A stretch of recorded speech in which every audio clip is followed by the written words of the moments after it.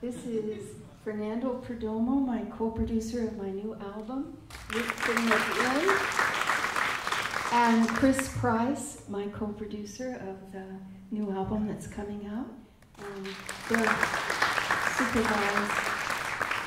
Also, Michelle Vidal, she's been with me in a number of shows since I first got on the stage, which was 2009.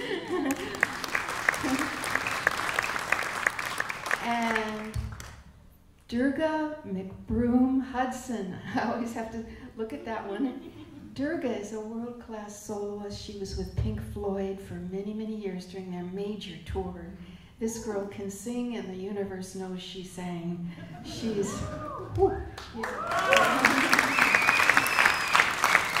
and Michelle works with a number of rock groups, and you wait till you hear her. She can hold her own too. We're going to do a solo section, so you'll hear each one individually doing some of their own things. So that'll make it fun.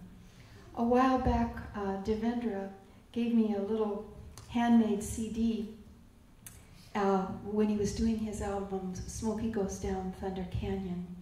And he gave me four picks and he said, Can you help me find a good harmony for the four songs or any one that you choose?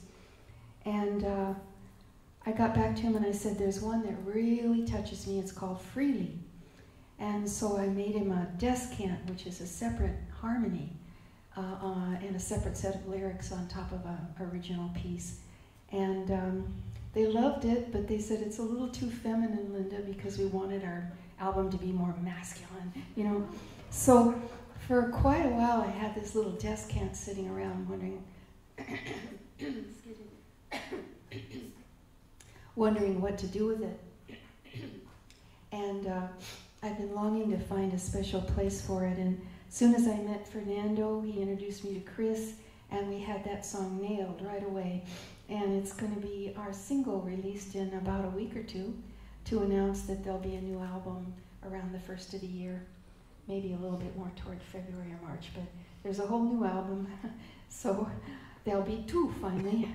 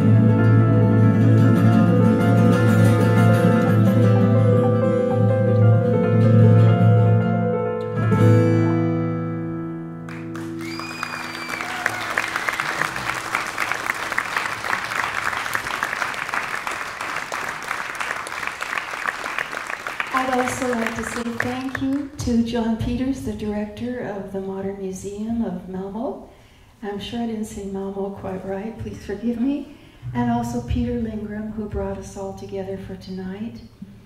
And um, uh, at another uh, large center in Los Angeles some years ago, um, they had a large birthday party for Dublab Radio, which is a large internet worldwide.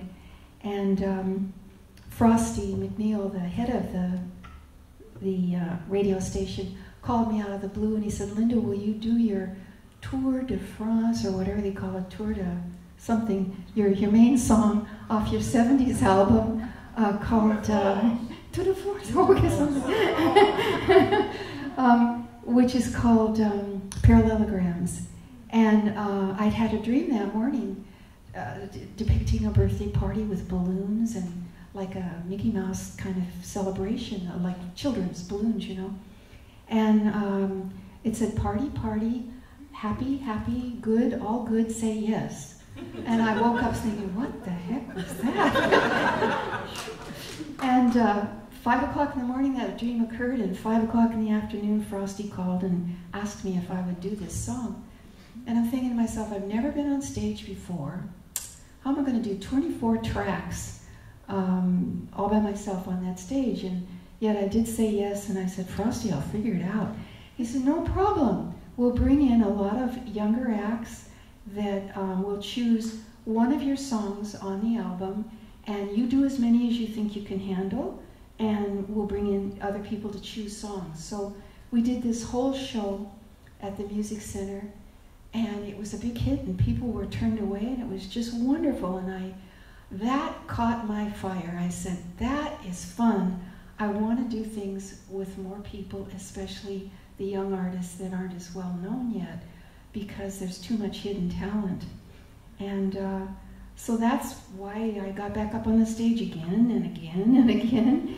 and uh, still doing it because mixing and matching and everybody joining and working together was much more much more comfortable to me than trying to be a, a center star, a star that that never appealed to me, or going on the road and living that kind of life. But mixing with other artists, bringing out what they have, that caught my fire, sparked me.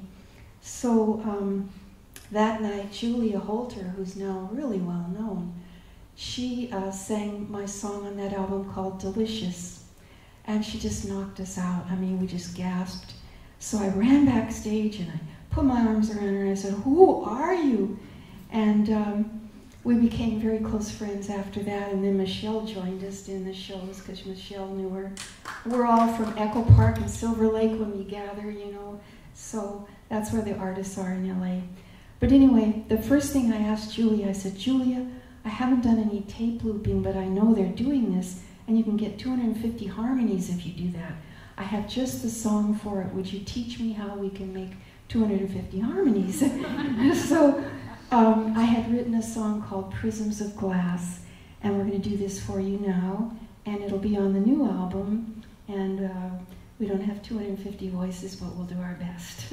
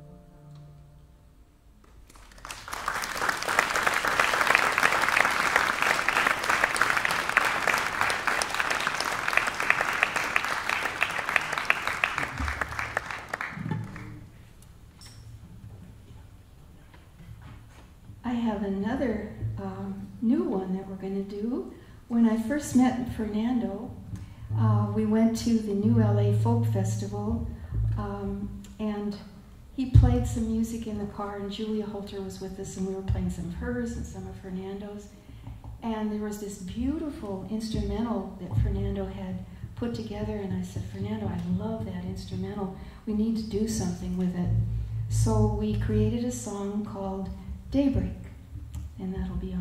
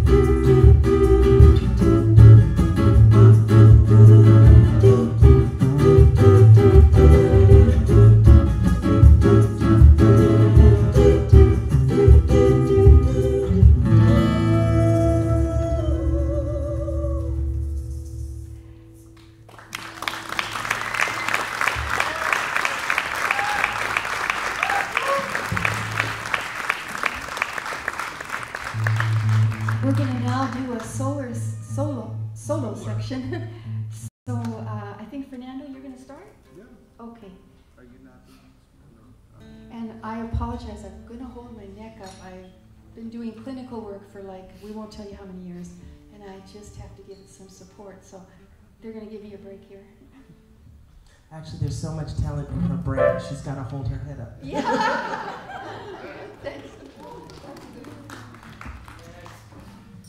How about that? How about this? Uh, how cool is it to see Linda Perhacs finally perform live in Sweden?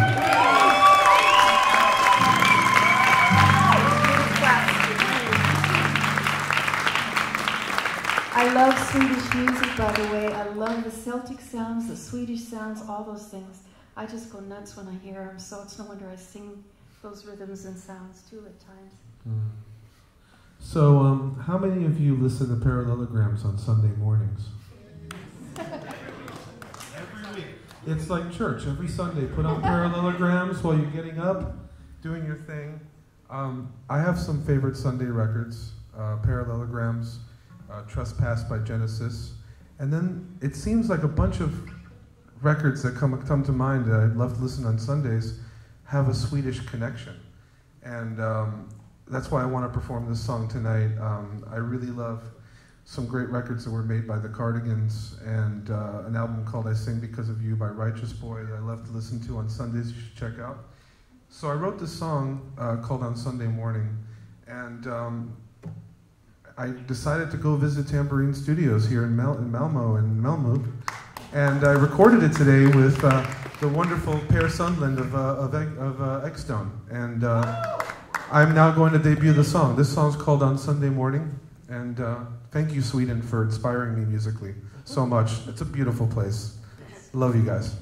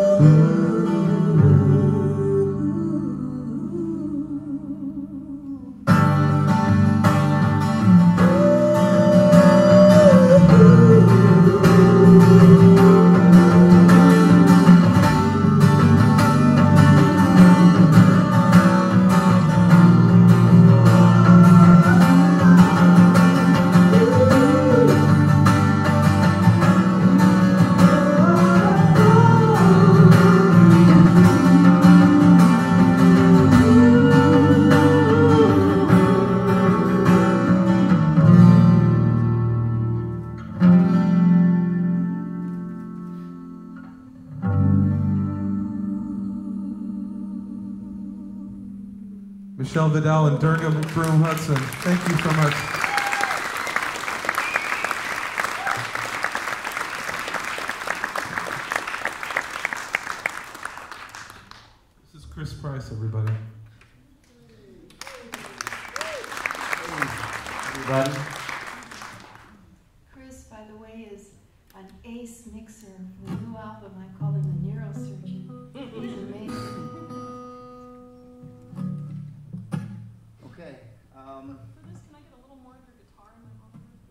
Uh, she would like some of this guitar.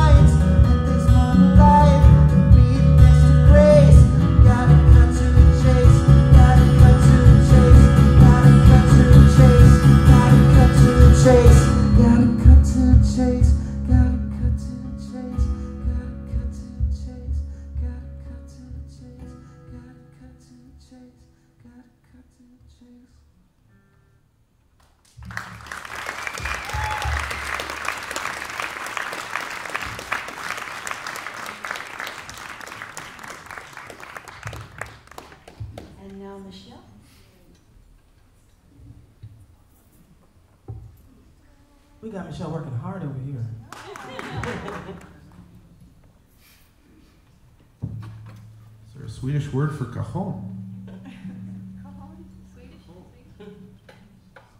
Bangbox.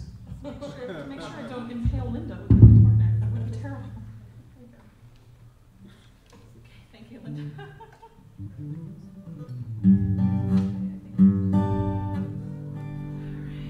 Thank you. So my name is Michelle Vidal, and um, I've been with Linda since 2009. I just got off tour with the psychedelic rock band Spindrift. I play with them with uh, various other people. Played in a folk band, Eagle Wing Palace. This is a Fur Trader song, which is a band that released a record I think a couple years ago, and it's just a really lovely, just straight out uh, gospel song.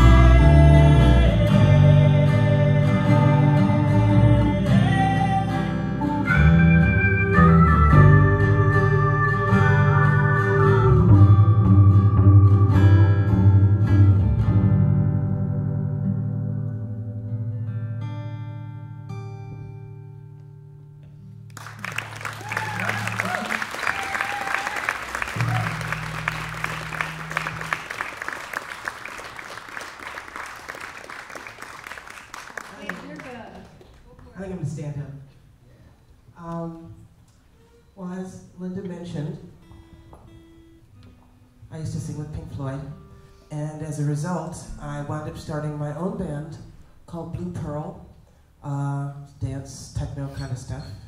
And in fact, um, Sweden was very kind to me then. I've been here a few times. Uh, and on my first album that I co wrote with Youth, uh, I had a song called Over You. And I'm going to do that for you now.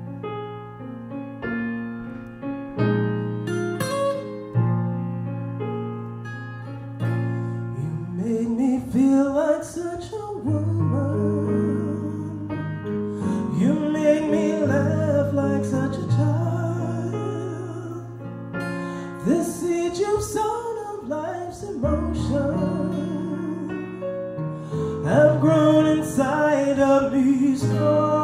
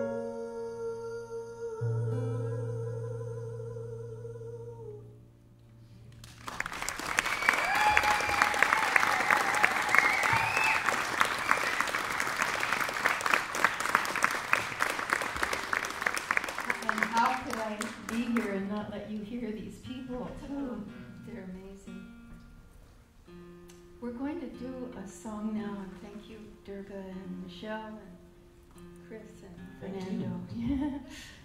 We're going to do a song now that was on the 70s album, my album in the 70s. And it was a theme song uh, for about three years on TV. It's called Hey Who Really Cares. Some of you will probably remember when you hear it. And um, there's kind of a funny story. I'll just say it as fast as I can. I got a call from Universal Studios saying, We hear you're pretty good with lyrics. We got to have the lyrics by tomorrow. Do you think you can do it?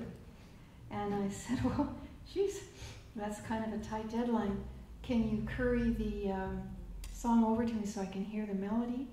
And they said, Yeah. And I said, Send me the script. So I listened to it for about five hours lying in bed with the flu and underlined, highlighted the script, you know, the pop lines, the things that were like haiku or they would fit together in lyrics if, if need be. And um, I curried it back to them the same day, and they said, "We love it. Can you come in tomorrow and sing it?" I said, "Well, I'm pretty sick. You really, you know, you're not going to get maximum voice." And they said, "No, you sound 15, and that's exactly what we want." so, so anyway, it turned out to be pretty good. So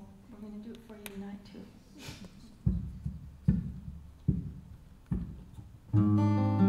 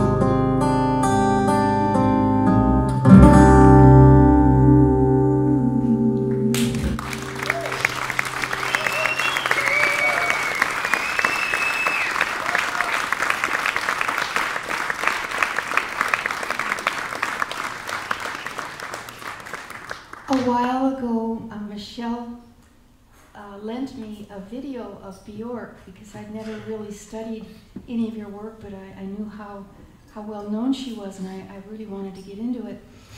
And I'm so glad she gave it to me. I, I spent the first maybe half of the video watching song after song in performance level and massive crowds around her. And I really wanted to hear about her love for the sound in rocks and things like that. But the performances were, of course, kind of kind of wild, a little bit, you know, I mean, loud rock and roll sounds and and people all moving together in, in waves. And I was just about to say, well, I think I'd had enough of that, when all of a sudden they switched to Iceland and the outdoors and the cliffs and the icebergs, and there she was on this little tiny dinghy boat with a man uh, doing an outboard motor and just taking her around, and she was all by herself in the front of that boat, looking at, at the wildest kind of scenery you could find in nature. And I was very intrigued, and then she explained that when life really gets to her and she needs to find her center again and her focus and her strength, she goes and looks at the um, the wild um, unadulterated nature in, in Iceland in particular. And I was really touched by that because I, I can understand that. And it's something we all need. We all need to come back to our centering. And about the time, or a little while later, so I, I wanted to write a song about nature too that would kind of help people want to do that when they need it. And um, Devendra sent me another song that I just fell in love with. It was Milton Nascimento's uh, Francisco, and um, that would be Portuguese. But I asked Fernando. I said, "Are there any words on this song?" He said, "No." She, he's he's just making sound like ah, ah, you know. But it's gorgeous. One man, one guitar, just talking to the to the universe. So I wanted to write a song that kind of would do the same thing. So it's called Soul of All Natural Things, and it's the title of the new album. And um, the inspiration was those two other pieces of music or other artists.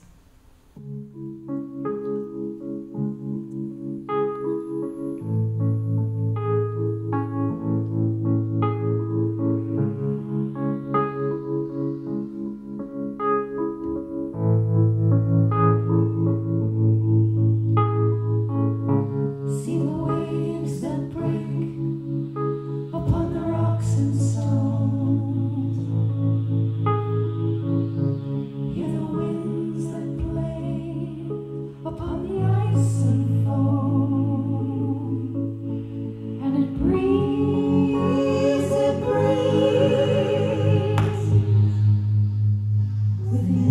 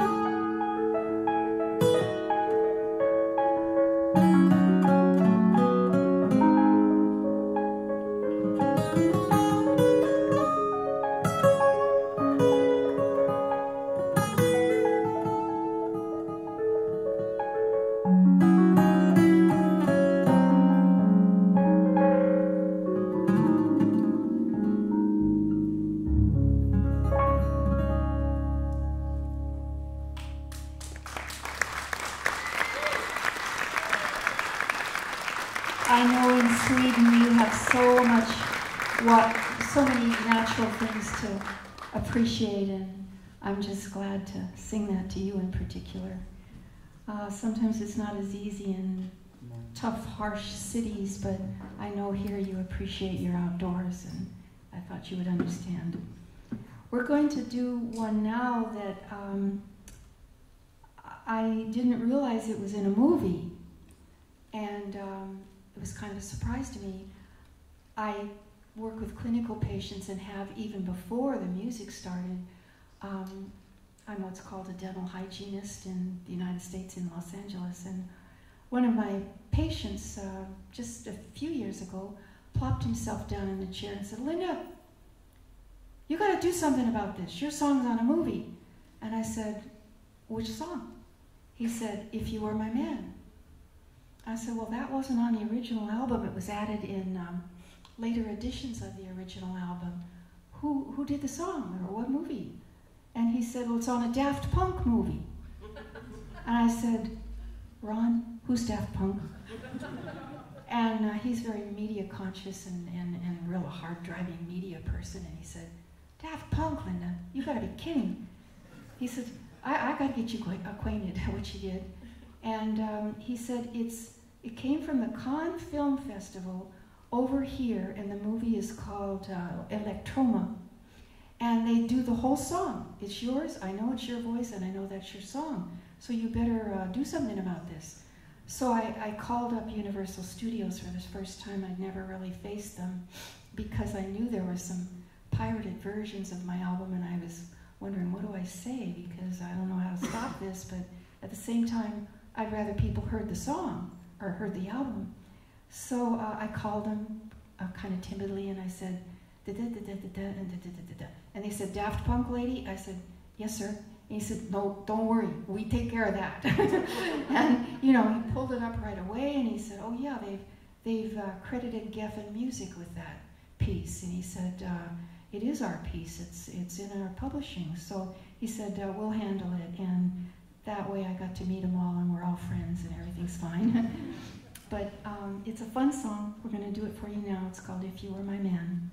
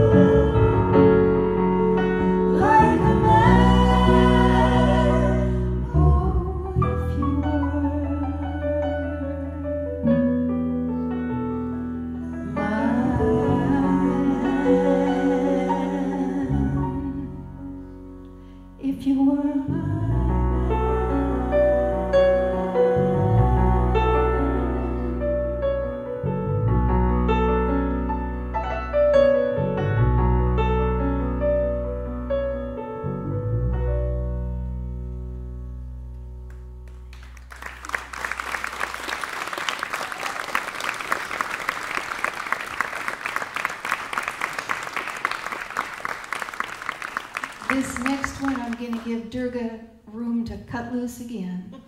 And uh, this next song was written, of course, in my 70s album. It's the one I was talking about that I did on in the music center, the tour or whatever you call it. And it's called Parallelograms. And this one could not have been written any time other than the 70s. And here we go, and we're going to kick it. First, we're going to tune it. we tune because we care. Here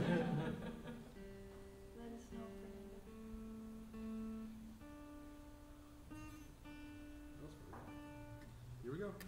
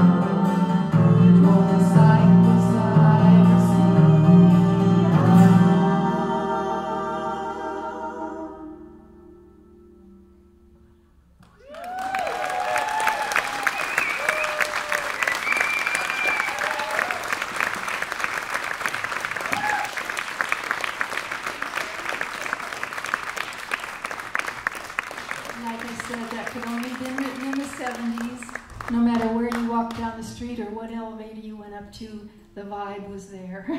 it just was there. Even in straight communities with very businesslike suits, you know, it just was everywhere. We're going to do one next called Children. If Chris gives us the cue, um, his guitar got hurt in the airplane. Fernando? Uh, he's doing a little bit of a stunt here to get the guitar um, tuned up here. Um, how about a big hand for the lovely Miss Hepburn who opened up the show?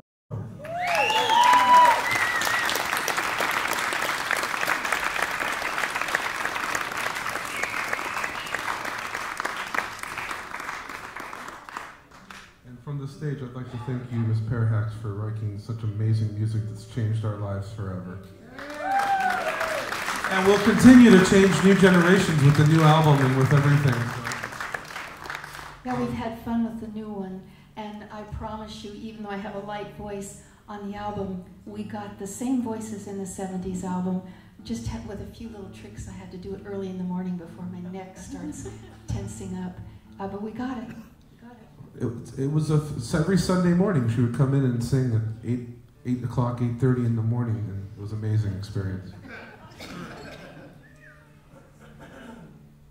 Yeah, the, the new album was recorded entirely on Sunday mornings. And she brought a lot of cookies. And Oh God, and cupcakes And too. muffins and cupcakes too. I looked like Chris when we started making the record. This sounds like a bar band thing, but keep keep keep your eye on all the social media because the first piece of the new music that's coming out freely will be coming out in the next coming weeks. After 43 years, new Linda Perhacs music is coming out. And I, I promise you, we did a good job. I'm, I'm just thrilled myself. We sent it out to different indie labels to test it, and they got back to us in hours, sometimes the next day, and said, "Let's talk." I can't believe it. You know, that's hard to do. And then Sufjan Stevens contacted us. And Yes. Now we're on the Asthmatic Kitty label. Yeah. So um, this next piece of music is uh, is a instrumental guitar piece that I wrote when I was 17 years old, and uh, I I had no idea what to do with it. And at the time, uh, one of my favorite records to listen to was Parallelograms. I was heavily inspired by that, and uh, you know, al- almost 10, 11 years later, I met Linda and I played her this piece and after 10, 11 years of not knowing what to do with it, she wrote a, a song to it overnight. It was effortless for her. This is called Children.